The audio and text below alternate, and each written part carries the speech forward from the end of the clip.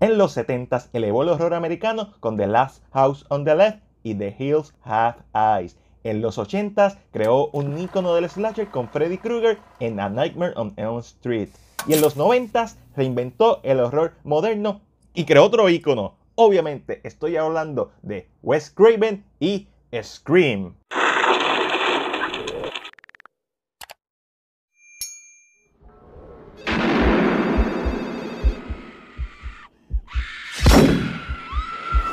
Es un filme magistralmente dirigido que funciona como una comedia satírica dentro del mismo género. Hace muchas referencias a otras películas de horror, especialmente lo que es el slasher, incluyendo películas que el mismo Wes Craven hizo. Pero en especial a John Carpenter's Halloween. En el último acto, Halloween está de fondo y la música que mayormente se usa es la de la película de Halloween. Scream comienza con lo que en mi opinión es la mejor apertura en un filme de horror. El performance de Drew Barrymore está en la madre, el movimiento de la cámara, la tensión que se va creando, este tono cómico con el que empieza juguetón que hace que nosotros, ¿verdad? El público nos metamos dentro de la película y en menos nada se transforma en horror genuino, en algo que realmente da miedo y después se eleva con el gore y después se eleva con el performance de los papás del personaje de Drew Barrymore y se siente trágica. El humor meta, el tono tongue and cheek, mencionan el título original de la película. Por eso es que Scary Movie existe. Es una película que te hace sentir un montón de cosas durante toda su duración. Y aquí donde por primera vez vemos a nuestro asesino, Ghostface, y vemos su icónica máscara que desde 1996 ha estado en todos los Halloween. La máscara principalmente está inspirada en tres cosas, la pintura screen de Edvard Munch, los personajes en la carátula del álbum The Wall de Pink Floyd y los personajes que aparecen en la animación de 1930 Betty Boop. Wes Craven manipula esta historia para entretenernos que como una buena pieza musical va creciendo con su horror, pero entre medio tiene momentos de tranquilidad y desarrollo de personajes, dándole un espacio para respirar y después te da un poquito de horror, espacio para respirar y después horror serio. Cuando esto le añades personajes que están súper bien escritos, que no sobreestienden su bienvenida y que tienen un casting que está en la madre, ¡Mua! Chef's Kiss. Screen debe ser uno de los mejores ejemplos de lo que se considera un libreto perfecto, porque la regla dice que cada 10 minutos tiene que pasar una escena de horror. Screen empieza con una escena que parece casual y se convierte en horror y en sus 12 minutos rompe para enseñarnos a nuestro protagonista, Nate Campbell, específicamente el personaje de Sidney Prescott, y el de Sketch Ulrich, su novio Billy Loomis, que es una referencia a Dr. Loomis de Halloween. Introducir estos personajes por 8 o 10 minutos y después volver con otra escena de horror. Ese es el estereotipo de un libreto perfecto. Un filme, ¿verdad? Que cada 10 minutos pase algo. Pero eso le añade el misterio de quién es el asesino y cómo la película te tira pista de quién es, pero entonces tienes pista de quién no es, lo que hace que al final tú no confíes en nadie. Y eso es genial porque uno está en el juego, la película te hace parte de ella. Y esto es horror inteligente. Y no solamente me refiero a las referencias a otras películas y al género, o que castearon a Skir Ulrich, porque básicamente se parece a Johnny Depp. O esta escena que si pestañaste pierde que sale Linda Blair del exorcista sino a cómo está escrito estructuralmente es una película inteligente. Nate Campbell interpreta a la protagonista Sidney Prescott, una joven traumatizada por la muerte de su madre, quien es atacada constantemente por el asesino conocido como Ghostface. Aunque claramente cuando Dewey enseña el traje, el personaje se llama Father Dead.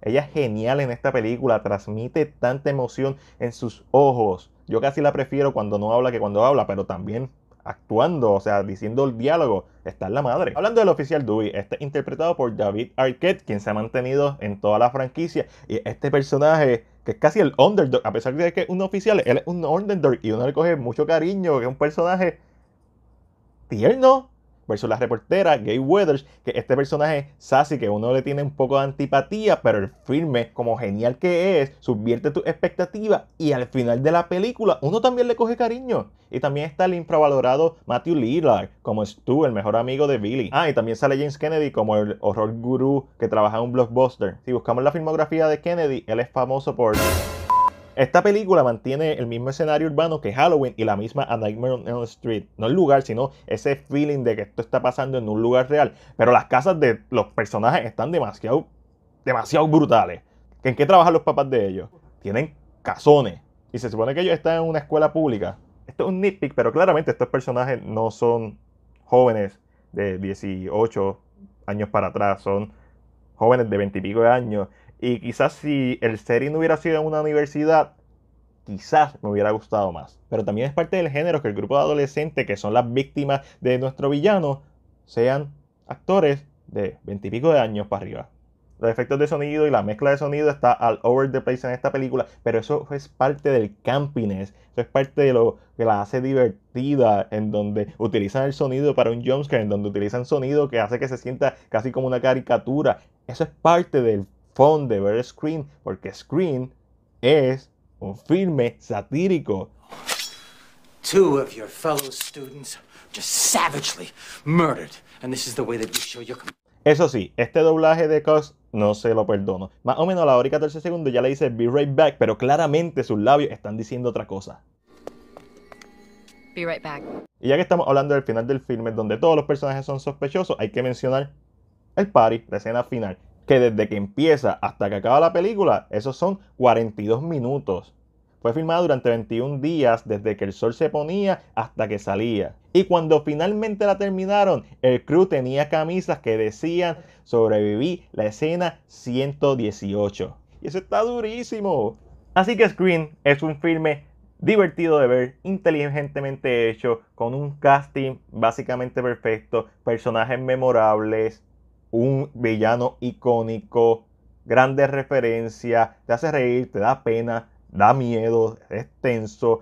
Su twist es uno de los mejores ever, brillante, inteligente. Uno no lo ve venir. Incluso aunque hayas visto la película, sigue siendo efectivo porque la segunda vez me pone a buscar a ver dónde están las pistas que hacen que haga sentido y hace sentido. Una película que subvierte tu expectativa en donde quizás su única falla es que sus muertes no son tan memorables porque a diferencia de otros asesinos slasher como Jason Voorhees y Freddy Krueger, básicamente te mata con una cuchilla y uno que otro pequeño detalle no le restan para nada a este clásico del horror del slasher y es por eso que entre lo bueno, lo malo y lo ok yo le doy a Scream una A.